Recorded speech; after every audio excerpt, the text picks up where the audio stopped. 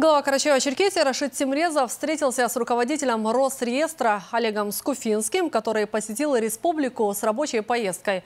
В ходе двусторонней встречи, а потом в формате совещания обсудили ход реализации госпрограммы «Национальная система пространственных данных» на территории региона, а также наполнение единого государственного реестра недвижимости полными и точными сведениями.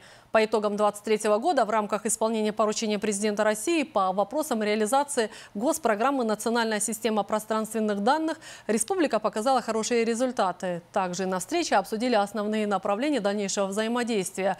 Совместно с Росреестром Карачаево-Черкесия проводит комплексную работу по повышению эффективности использования земель в интересах граждан, бизнеса и государства.